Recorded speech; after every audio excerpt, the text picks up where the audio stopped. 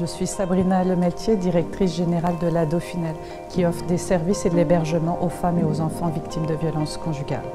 Alors que la Dauphinelle souligne son 40e anniversaire, nous lançons une campagne pour soutenir la création d'une toute nouvelle maison d'hébergement de deuxième étape, la maison d'Evelyne. La violence conjugale touche encore trop de femmes et d'enfants.